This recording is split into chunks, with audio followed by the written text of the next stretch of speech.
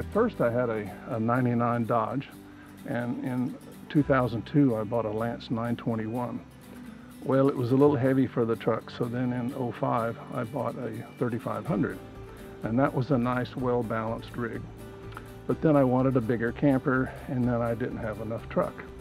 So I decided to get the, uh, the Ram 5500 so I could have a camper made out of cast iron if I wanted to.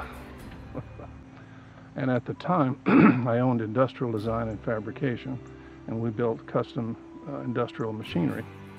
So it wasn't too much of a stretch, even though I've never designed a, a custom storage bed, it wasn't too much of a stretch to, to do that. But I use SolidWorks because it's a, it's a pretty cool program because you can do cross sections, you can spin things around, you can get things in odd positions and measure, measure clearances. Um, the downside is it's only as accurate as the way you draw it. If you give it a bad dimension, then it's not going to work. But it enables you to see uh, potential problems uh, or ways that you can change and improve it. For instance, on the mounting of the spare tire, I originally had it on the passenger side with the filler cap on the uh, driver's side.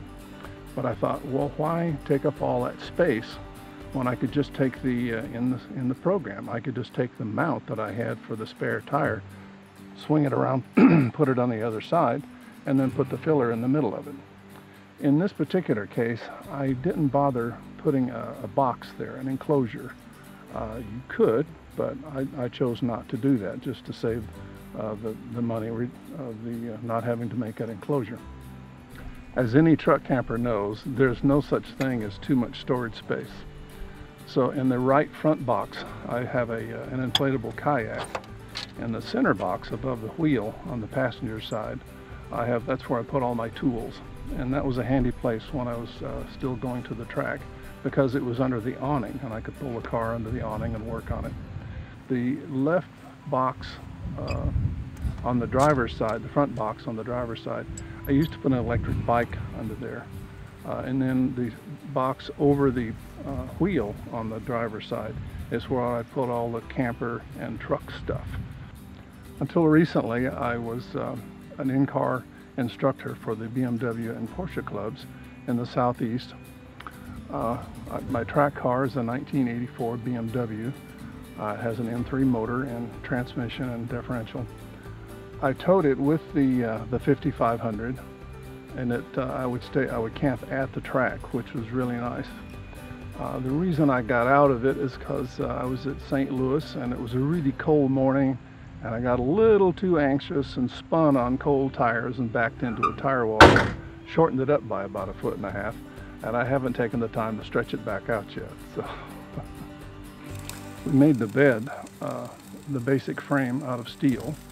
We happen to have in the, the shop some leftover 3 inch by 5 inch uh, rectangular tubing and I use that as the base. I use the 3 inch in the vertical dimension and the 5 inch horizontally to try and get the camper as low as possible. Um, and that also made the bed torsionally very stiff, which was one of my concerns because I wanted to induce as little torsion into the camper as possible because the frame of the truck is made out of channel. It's 50,000 psi steel, which means that it can twist quite a lot. So the bed, the frame, is of the storage bed is mounted to where it can it's attached to the back end of the, of the frame and it's spring loaded uh, against stops in the front so the frame can twist separately from the frame of the truck the aluminum boxes were made at a local uh, company that uh, fabrication company and then I took them and assembled everything and then had a local body shop do the painting the whole process from beginning to end took about eight weeks.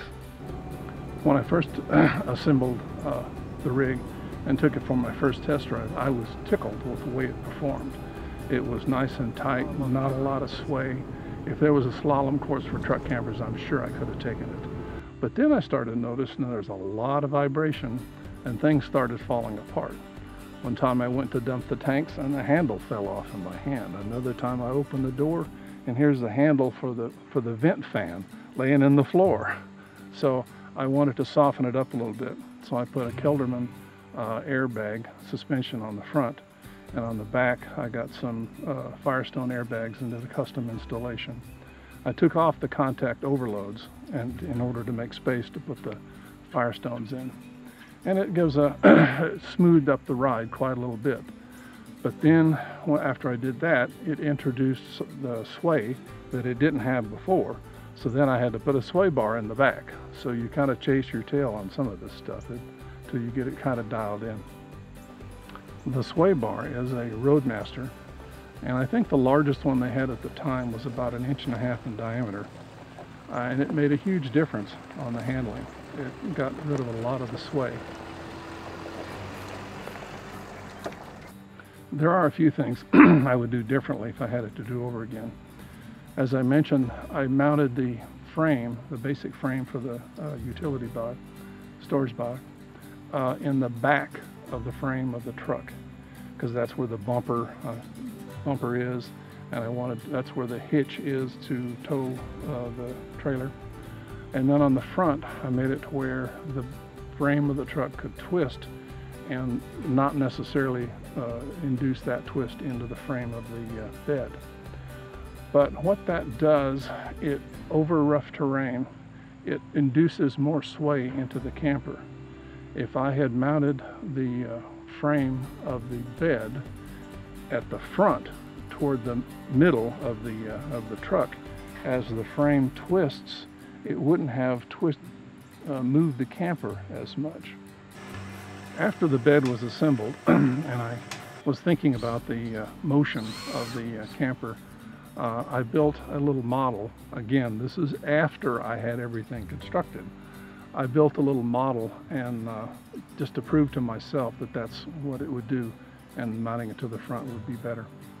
I kind of wished I had put more space around the uh, wheel well uh, under the storage boxes because I thought it would be nice to uh, put on larger tires for uh, off-roading and perhaps even, I guess you call them super singles, one large tire instead of a dually in the back. It's my understanding that uh, there's some beaches that won't allow dualies uh, to go on them. The reason I chose a, uh, a truck and camper, uh, actually several reasons. My father had one when I was young and I was kind of brought up with truck campers. But the main reason I bought a truck and a camper is so I could tow a trailer. And I did that for many years. But I also really enjoy, um, with the Eagle Cap, it's got a large back window and a couch and I've spent many, many pleasant evenings with my legs up on the couch, lean back against the side. When you go places that you've never been before and see people that you've never seen before and eat at restaurants that you've never been before, you're more aware of life. In your daily routine, normally you do the same things over and over again and you forget you become just numb to what's going on around you.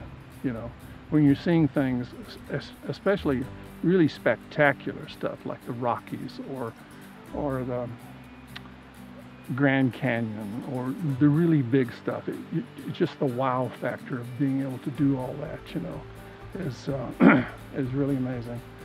And I uh, I plan on continuing to do that for a long, long time.